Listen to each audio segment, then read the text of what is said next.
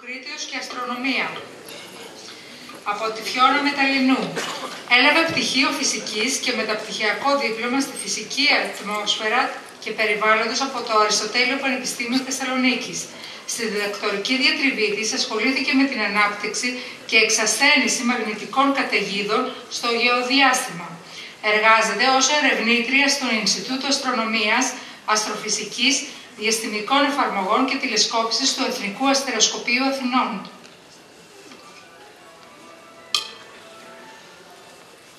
Καλησπέρα σας. Αν δεν βλέπετε καλά τις διαφάνειες, μήπως να χαμηλώσουμε τα φώτα, δεν ξέρω. Ναι, αν μπορεί ο τεχνικός να μας τα χαμηλώσει, θα τον ευχαριστούσαμε. Ένας προβολέας που έρχεται από πίσω, δεν ξέρω ποιος. Για να σας φωτίζει δηλαδή. Ευχαριστώ.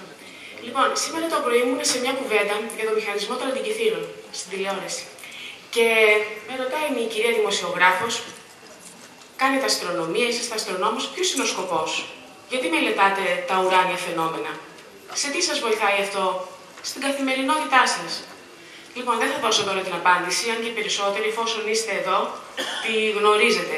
Θα το πούμε στο τέλος, διότι ο επίκονος το έχει πει με λίγες φράσεις. Το πρωί το είπα περιφραστικά και λίγο πριν έρθω εδώ, λέω λάθη η απάντηση σωστή που έπρεπε να είχα δώσει. Λοιπόν, ε, διαβάζοντας το περιφύσεως του Λυκουκριτίου, το ποιητικό έργο, εντόπισα σημεία τα οποία, στα οποία αναφέρεται στην αστρονομία. Και συγκεκριμένα, ο Λουκρίτιος αναφέρεται στα εξής θέματα μέσα στο ποιητικό του έργο. Μιλάει για εκλήψεις, ηλίου και σελήνης. Μιλάει για τις φάσεις της σελήνης, με τρόπο ποιητικό βεβαίως.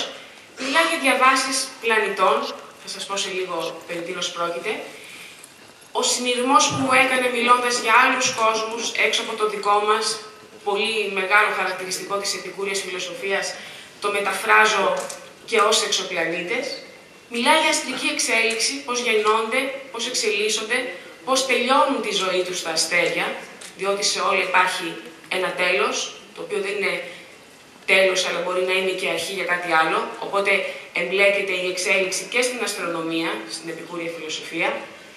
Μιλάει για κοσμολογία, στην οποία πραγματεύεται τη δομή και τη μορφή του κόσμου. Ποια είναι η μορφή του κόσμου, πώς δομείται το σύμπαν ουσιαστικά. Και γενικά μιλάει για τη μεθοδολογία στην έρευνα.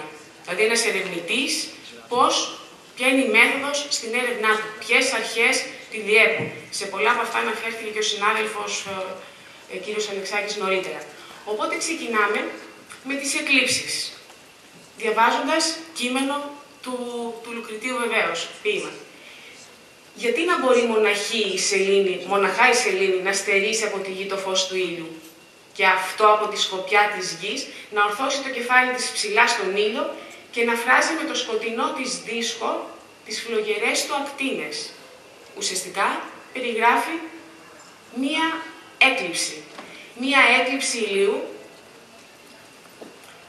για τις οποίες οι εκλήψεις είχε δώσει ερμηνεία ήδη από τον 5ο π.Χ. αιώνα ο Αναξαγόρας, στις οποίες εκλήψεις, όπως γνωρίζετε και βλέπετε και στο σχήμα, τα τρία σώματα, ο ήλιος, η σελήνη και η γη, βρίσκονται στην ίδια ευθεία, με τέτοιο τρόπο ώστε η σκιά του ενός να πέφτει πάνω στο άλλο. Όταν η σκιά της σελήνης πέφτει πάνω στη γη, ο ήλιος φωτίζει τη σελήνη, η σκιά της σελήνης πέφτει πάνω στη γη και οι τόποι που είναι μέσα στη σκιά της σελήνης επάνω στη γη, αντί να βλέπουν τον ήλιο φωτεινό, ανάποδα θα σβήσει τα φώτα, αντί να βλέπουν τον ήλιο φωτεινό, τον βλέπουν να έχει σκοτεινιάσει. Οπότε παρατηρούμε μια έκλειψη ηλίου. Πηγαίνετε λίγο στην προηγούμενη διαφάνεια και συνεχίζει το βήμα. Και την ίδια στιγμή να μην μπορεί να κάνει το ίδιο πράγμα κάποιο άλλο σώμα που ταξιδεύει δίχως δικό του φως. Και την ίδια στιγμή λέει, δεν θα μπορούσε και ένα άλλο σώμα όταν περνάει μπροστά από τον ήλιο και ταξιδεύει χωρίς το ίδιο να έχει δικό του φως, δεν μπορεί και αυτό επίσης να σκιάσει τον ήλιο. Το λέει υποθετικά, διότι ο Επίκουρος στη μέθοδο του παρατήρησης και ερμηνείας του σύμπαντος θέτει διάφορες παραμέτρους, διάφορες εκδοχές, πολλές φορές χωρίς να ξέρει να καταλήξει στη σωστή λύση, παραθέτει τις πιθανές λύσεις.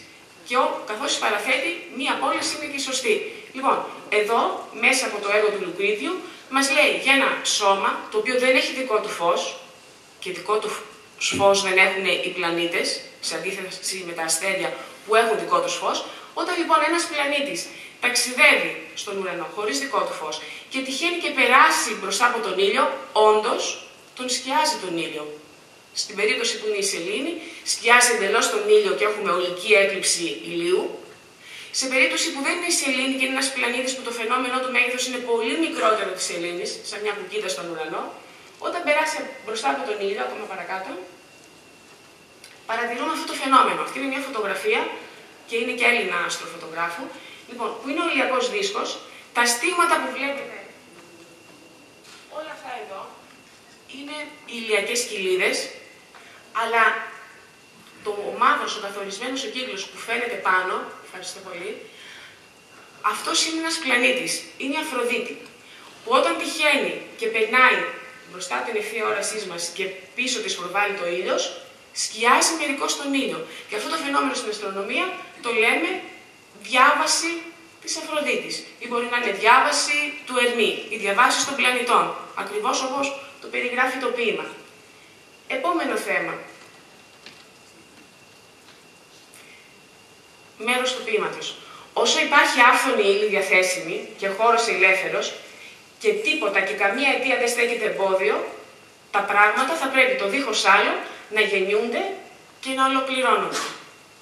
Οπότε περνάμε τώρα σε θέματα αστρικής εξέλιξης. Πώς δημιουργούνται, πώς γεννώνται, πώς εξελίσσονται και πώς τελειώνουν τη ζωή τους οι αστέρες. Πραγματικά, στη σύγχρονη αστροφυσική ξέρουμε ότι οι αστέρες ξεκινάνε τη ζωή τους μέσα σε ένα νεφέλωμα. Έχουμε και άλλες φωτογραφίες νεφελωμάτων, όπου τα νεφελώματα είναι περιοχές μέσα στο σύμπαν από σκόνη και άτομα και σκόνες και αέρια, κυρίως υδρογόνο. Πάνω από το 90% του σύμπαντος είναι υδρογόνο. Λοιπόν, αυτό που συμβαίνει μέσα από αυτά τις ποσότητες ύλης, επειδή δεν είναι ίσο κατά νεμημένη, υπάρχουν πυκνώματα και αερεώματα, εκεί που είναι πιο πυκνή η ύλη, η βαρύτητα είναι ισχυρότερη. Και καθώς είναι ισχυρότερη, έλκει και άλλα σωματίδια. Με αποτέλεσμα να αυξάνεται το βαρυτικό πεδίο σε αυτές τις περιοχές. Και εφόσον αυξάνεται, έλκει επιπλέον σωματίδια. Ελκόμενα αυτά αυξάνουν τη βαρύτητα και υπάρχει κάποια στιγμή, μετά από εκατομμύρια χρόνια που συνεχίζει αυτή τη διαδικασία, και μέσα σε ένα τέτοιο πύκνωμα, σε ένα νεφέλωμα στον ουρανό, να γεννιέται ένα καινούριο αστέρι, ένας πρωτοαστέρας. Α δούμε κάνα δύο νεφελώματα ακόμα. Και αυτή είναι μια φωτογραφία πάρα πολύ χαρακτηριστική από το διαστημικό τηλεσκόπιο το Hubble, το οποίο για πρώτη φορά συνέλαβε τόσο υψηλής ανάλυσης εικόνες, γιατί βεβαίως το Hubble δεν είναι στη γη, δεν είναι πήγε τηλεσκόπιο, είναι στο διάστημα, γυρνάει ω δορυφόρο γύρω από τη γη, δεν έχει την ατμόσφαιρα, τα νέφη, τις σκόνες, τα αέρια, οπότε δεν υπάρχει αυτό το φίλτρο της ατμόσφαιρας και βλέπει πιο καθαρά και πιο μακριά. Και συνέλαβε μια εικόνα μέσα σε ένα νεφέλωμα, όπου η ύλη γίνεται πιο πυκνή και εκεί είναι πιθανόν, πιθανότητα δηλαδή αυξάνει μέσα σε αυτές τις πύλες δημιουργίας, όπως χαρακτηριστικά τις ονομάζουμε, να δημιουργηθεί ένας πρωτοαστέρας, ένας καινούριος αστέρας. Και συνεχίζει ο Λουκρίτιος, σε άλλο σημείο, γη και ουρανός, σελήνη και όλα τα άλλα, δεν είναι μοναδικά, υπάρχουν αμέτρητα. Και πώς για τη ζωή τους, όπως για κάθε τι άλλο, έχει οριστεί ένα τέρμα. Μας αναφέρει λοιπόν ότι είναι αμέτρητα τα ουράνια σώματα Όπως η σελήνη, όπως είναι η γη, όπως είναι οι πλανήτες, όπως είναι τα αστέρια, όπως είναι ό,τι ουράνιο σώμα έχουμε παρατηρήσει μέχρι σήμερα. Και φυσικά η ζωή τους δεν είναι άπειρη, αλλά όπως για οτιδήποτε παρατηρούμε έχει ένα τέλος, έτσι έχει τέλος και η ζωή των ουρανίων σωμάτων. Ισχύει απολύτως. Στη σύγχρονη αστρονομία υπάρχει και το τέλος των αστέρων, απλά τα αστέρια ζουν δισεκατομμύρια χρόνια. Και ένας άνθρωπος, όσο να ζήσει ένας άνθρωπος, 100 χρόνια, δεν προλαβαίνει στη ζωή του στη ζωή μας να δούμε ένα αστέρι από τη στιγμή που θα γεννηθεί μέχρι τη στιγμή που θα πεθάνει και διαφορετικά αστέρια τα παρατηρούμε σε διαφορετικές φάσεις της ζωής τους. Δηλαδή, άλλο ένα αστέρα βλέπουμε όταν γεννιέται, άλλο κατά τη διάρκεια της ζωής του, άλλο στο τέλος της ζωής του. Και για να δούμε λιγάκι ένα παράδειγμα, ένα χαρακτηριστικό παράδειγμα εξέλιξης ενός αστέρα και μάλιστα μεγάλης μάζας. Γιατί όσο μεγαλύτερη μάζα έχει ένας αστέρας, τόσο πιο πιο λίγο ζει. Βασική αρχή στην αστρική εξέλιξη ότι όσο μεγαλύτερη μάζα έχει ένα αστέρι και λιγότερη είναι η ζωή του και μικρότερη και τόσο πιο γρήγορος και πιο βίαιος και πιο εκρηκτικός ο θάνατός του. Ενώ τα αστέρια με μικρή μάζα ζουν περισσότερο, πιο ήσυχα και έχουν μεγαλύτερη διάρκεια οι ζωές τους. Οπότε, ξεκινώντας από ένα νεφέλωμα κάτω αριστερά σας, γεννιέται ένας πρώτο αστέρας, ένας πρωταρχικός πυρήνας, που συνεχίζει και γίνεται ένας αστέρας της κύριας ακολουθίας, όπως λέμε. Ένα τέτοιο αστέρι είναι ο ήλιος μας. Ένα τυπικό αστέρι. Ούτε πολύ μεγάλο, ούτε πολύ μικρό. Ούτε πολύ νέος, ούτε πολύ γέρος. Στη μέση της ζωής τους, με πολύ τυπικά χαρακτηριστικά, μπορεί να γίνει γίγαντας αστέρας, κατά τη διάρκεια της εξέλιξής του, μπορεί να γίνει υπεργίγαντας, και αν η μάζα του το επιτρέπει, μπορεί να εκραγεί και να γίνει ένα supernova. Να γίνει ένας καινοφανής ή υπερκαινοφανής. Και όταν ένας υπερκαινοφανής εκρήγνεται, το υλικό του σκορπίζει στο διάστημα και παραμένει στο κέντρο, στον πυρήνα και δημιουργείται ένας αστέρας νετρονίων. Ή μπορεί να δημιουργηθεί και μια μαύρη τρύπα που είναι η έσχατη περίπτωση στην εξέλιξη και στο θάνατο ενός αστέρα. Οπότε όλος αυτός ο κύκλος γίνεται, ξεκινάει, ζει και τελειώνει τη ζωή του ένας αστέρας και τα υπολείμματα από τα ενδιάμεσα στάδια, για παράδειγμα τα υπολείμματα από την έκρηξη του Supernova, κάνουν αυτή την ανακύκλωση και χρησιμοποιούνται ως πρωταρχικό υλικό για να δημιουργηθεί ένας αστέρας από την αρχή. Άρα αυτά που διαβάζουμε για εξέλιξη φυσικά στη βιολογία το δίχως άλλο γιατί τα παρατηρούμε και τα βλέπουμε, ισχύουν και στον ουρανό, ισχύουν και σε όρους ε, αστροφυσικής, όπως και ο Επίκουρος πάρα πολύ ωραία το έχει περιγράψει. Για να προχωρήσουμε. Και συνεχίζει ο Λουκρίτιος. Με κανένα τρόπο μην το δεχτείς ως πιθανό πως η δική μας γη και ο δικός μας ουρανός είναι τα μόνα που έχουν δημιουργηθεί και πως όλοι οι υπόλοιποι ύλοι έξω από αυτά είναι αδρανείς. Τι είναι λοιπόν μια πολύ βασική διατύπωση για τον κόσμο μας, ο οποίος δεν είναι ο μοναδικός και όπως το ε, Επίκουρος μας λέει, υπάρχουν τόσο όμοιοι όσο και ανόμοιοι κόσμοι με το δικό μας. Το μεταφέρει λοιπόν και ο Λουκρίτιος και πράγματι η γη μας δεν είναι μοναδική. Εδώ είναι ο ήλιος, είναι το δικό μας ηλιακό σύστημα, οι γνωστοί πλανήτες που περιφέρονται γύρω από τον ήλιο μας, αλλά μέχρι σήμερα ξεκινώντας από το 1995, όπου ο πρώτος πλανήτης περιφερόμενος γύρω από άλλο αστέρι ανακαλύφθηκε από τους δύο αυτούς ελβετούς αστρονόμους, μέχρι σήμερα έχουν ανακαλυφθεί πάνω από 2.000 πλανήτες, οι λεγόμενοι εξωπλανήτες ή εξωηλιακοί πλανήτες, που περιφέρονται γύρω από άλλα αστέρια. Κόσμοι λοιπόν, άλλοι, μπορεί και όμοιοι, μπορεί και ανώμοιοι με το δικό μας. Το σίγουρο είναι, παρατηρώντας το βράδυ τον ουρανό, βλέπω τους αστερισμούς στη Μεγάλη Άγνη, το Βότη, οποιοδήποτε αστερισμό βλέπουμε, κάποια από τα αστέρια τα οποία παρατηρούμε, ξέρουμε σήμερα ότι υπάρχουν πλανήτες, πλανητικά συστήματα που περιφέρονται γύρω και από αυτά τα αστέρια. Άλλοι λοιπόν κόσμοι έξω από το δικό μας, που μόλις από το 1995 και μετά ξεκίνησε η ανακάλυψη αυτή των εξωπλανητών. Γιατί η τεχνολογία, γιατί η μέθοδοι παρατήρησης και τα καινούργια τηλεσκόπια το επέτρεψαν. Και αν έχουμε έναν αστέρα, μπορεί να είναι σαν τον ήλιο μας, μπορεί να είναι πιο θερμός από τον ήλιο, μπορεί να είναι πιο ψυχρός, ορίζουμε στην αστρονομία μια ζώνη γύρω από αυτά τα αστέρια, τη λεγόμενη ζώνη βιωσιμότητας, μέσα στις οποίες αυτές ζώνες είναι δυνατόν να επιτραπεί η δημιουργία η ύπαρξη άλλου πλανήτη και η δημιουργία ζωής. Τώρα, πώς την ορίζουμε τη ζωή και πώς την ψάχνουμε, τουλάχιστον ψάχνουμε οι επιστήμονες αυτό που γνωρίζουμε. Και στην πορεία βρίσκουμε και άλλα πράγματα που δεν τα υποψιαζόμαστε και δεν τα ξέραμε πριν. Και προχωράει η επιστήμη. Και ας πούμε ότι αυτός είναι ο γαλαξίας ο δικός μας. Ο ήλιο μας, βλέπετε, δεν είναι στο κέντρο του γαλαξία, είναι στις παρυφές του, είναι στα προάστια, θα μπορούσαμε να πούμε. Όσοι εξωπλανήτες μέχρι σήμερα έχουμε ανακαλύψει, βρίσκονται μόλις σε μια ακτίνα περίπου 300 έτη φωτός σε αποστάσεις γύρω από τον ήλιο μας. Οπότε ανακαλύπτουμε καινούρια πράγματα, ανακαλύπτουμε άλλους κόσμους, άλλους πλανήτες, εξωηλιακούς, αλλά πάλι είμαστε στη γειτονιά του ήλιου. Είμαστε σε μια πολύ περιορισμένη περιοχή του γαλαξία στον οποίο εμείς ανήκουμε. Και αυτό θυμίζει το πείραμα, το φανταστικό τέλος πάντων, ε, του Λουκρίτιου μου λέγατε πριν, για το βέλος. Πετάμε ένα βέλος και λέμε πού θα σταματήσει το βέλος, σταματάει κάπου.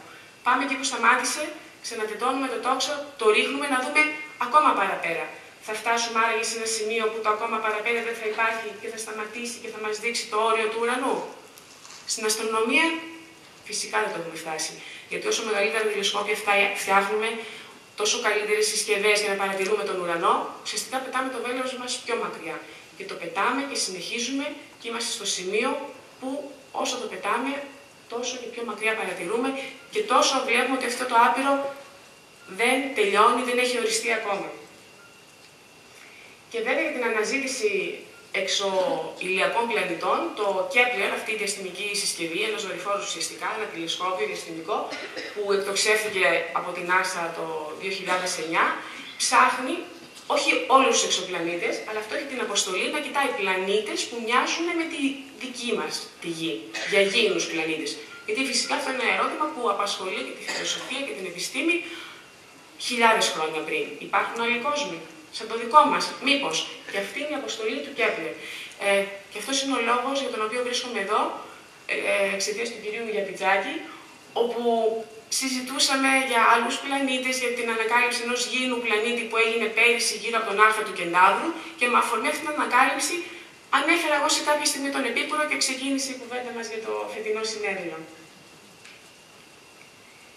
Τα όργανα τα βέλη που πετάνε οι αστρονόμοι και προσπαθούν να ανοιχνεύσουν το σύμπαν και όλο παρατηρούμε ακόμα πιο μακριά, στα οπτικά μήκη κύματος, στα υπέρυθρα, στις ακτίνες Χ, στις ακτίνες Γ, αυξάνουμε τη διακριτική μας ικανότητα, ε, το παράθυρο όρασής μας και θέασης του σύμπαντος, αλλά όριο ακόμα φυσικά δεν έχουμε δει. Τόσο αχανές είναι το διάστημα που ξανοίγεται για τα πράγματα προς κάθε κατεύθυνση χωρίς όρια. Το έχει πει ο Λουκρίτιος ήδη, το διαπιστώνουμε και αυτό είναι και η χαρά της έρευνας και της επιστήμης. Και να πω και δύο κουβέντες για τη, για τη δομή και τη μορφή του κόσμου, ξεκινώντας από τον Επίκουρο, ο οποίος ορίζει τον κόσμο ως ένα χώρο στον ουρανό, στο σύμπαν, που έχει όρια. Ο κόσμος, λέει, έχει όρια και περιέχει αντικείμενα ουράνια, όπως είναι και η γη μας, όπως είναι και άλλα σώματα, και ο κόσμος διέπεται από τους νόμους της φύσης και τους νόμους του ουρανού. Τι εννοεί με την έννοια κόσμος; Κάτι που έχει όρια. Θα μπορούσε να είναι ένα ηλιακό σύστημα, το οποίο έχει σαφή όρια. Θα μπορούσε να είναι ένα διπλό σύστημα αστέρων. Θα μπορούσε να είναι ένας μήνος αστέρων. Πολλά αστέρια στον ουρανό, τα οποία αλληλεπιδρούν βαρυτικά είναι σε μια περιοχή, όπως είναι η Πούλια, οι Πλιάδες είναι 2.000 αστέρια μαζί. Θα μπορούσε να είναι ένας γαλαξίας. Όλα λοιπόν αυτά ορίζονται ως κόσμοι στη φιλοσοφία του Επίκουρου. Οι οποίοι κόσμοι είναι άπειροι μέσα στο άπειρο σύμπαν. Και μέχρι σήμερα παρατηρούμε και γαλαξίες και νεφελώματα και αστρικά σμήνη και πλανητικά συστήματα και όσο πιο πίσω στον χρόνο βλέπουμε, όσο πιο μακριά σε αποστάσεις, όλο και περισσότερα αποκαλύπτονται στα μάτια μας. Λοιπόν, η μορφή των κόσμων αυτών. Έχουν διάφορες μορφές. Οι γαλαξίες, που είναι δομές από εκατομμύρια και δισεκατομμύρια αστέρια, μπορεί να είναι ελλειπτικοί, να έχουν τη μορφολογία αυτή που βλέπετε. Μπορεί να είναι σπυροειδή, που η ύλη κατανέμεται κατά μήκος των βραχιώνων των ε, σπυροειδών γαλαξιών. Μπορεί να είναι ραδοδοτή σπυροειδής, μια ράδο στη μέση και σπήρε που εκτείνονται προς τα έξω μπορεί να είναι και ανώμαλοι. Έχουν ένα κανόνιστο σχήμα, ούτε ραβδοτή, ούτε σπυροειδής, ούτε ελλειπτική. Αυτές είναι οι κατηγορίες. Και ο Edwin Hubble, ο οποίος ήταν και ο πρώτος αστρονόμος που παρατήρησε ότι οι γαλαξίες απομακρύνονται μεταξύ τους προς το άπειρο, όσο τους παρατηρούμε φεύγουν, θεωρώντας τον εαυτό μας κέντρο, αλλά και όπου και να θεωρήσουμε το κέντρο του κόσμου, όπου να σταθούμε, πάλι το ίδιο πράγμα θα παρατηρούμε, την απομάκρυνση των γαλαξιών, τους κατέταξε με βάση αυτές εδώ τις μορφές, ξεκινώντας από ελλειπτικούς, ανάλογα την ελλειπτικότητά τους ταξινομούνται με αυτά τα χαρακτηριστικά, μπορεί να είναι και σπυροειδείς και ανάλογα πόσο, πόσες σπήρες έχουν και πώς εκτείνονται αυτές οι σπήρες, τους κατατάσσουμε σε διάφορες κατηγορίες. Και βέβαια όμως, οι γαλαξίες δεν είναι μόνοι τους. Για παράδειγμα, βρισκόμαστε εμείς μέσα στον δικό μας γαλαξία, Milky Way στα αγγλικά. Αλλά ο γαλαξίας ο δικός μας ανήκει σε ένας μήνος γαλαξιών. 40 γαλαξίες στη γειτονιά μας. 40 γαλαξίες που ορίζουν το τοπικό μας σμήνος, το σμήνος γαλαξιών. Το επόμενο κοντινότερο σμήνος γαλαξιών είναι το σμήνος γαλαξιών της Παρθένου. Αντίστοιχα, μερικές δεκάδες ε, άλλοι γαλαξίες απαρτίζουν το σμήνος της Παρθένου. Τα σμήνη όμως δημιουργούν υπερσμήνη γαλαξιών, τα οποία αλληλεπιδρούν βαρυτικά μεταξύ τους. Και εδώ είναι μια χαρτογράφηση από αυτή τη διαστημική αποστολή που έχει χαρτογραφήσει τα σμήνη και τα υπερσμήνη γαλαξιών που έχουμε παρατηρήσει και παρατηρούμε και συνεχώς αποκαλύπτονται καινούργια στο σύμπαν. Έλεγε λοιπόν ο Επίκουρος ότι οι κόσμοι είναι αυτές οι μονάδες, μπορεί να είναι γαλαξίες. Μπορεί να υπάρχουν όμως και κόσμοι μέσα σε άλλους κόσμους. Τα σμήνη, τα υπερσμήνη, όλα αυτά τα κλάστερ γαλαξιών, μας φιλοσοφικά η δομή είναι ακριβώς αυτή που παρατηρούμε στη σύγχρονη κοσμολογία σήμερα. Δηλαδή, ξεκινώντας από τη γη, πάμε προς τα έξω, βλέπουμε το ηλιακό μας σύστημα, πάμε ακόμα προς τα έξω βλέπουμε το γαλαξία μας, το σμήνος, το τοπικό στο οποίο βρίσκεται, το υπερσμήνο και συνεχίζει σε αυτή την κλίμακα από μέσα προς τα έξω και αντίστροφα.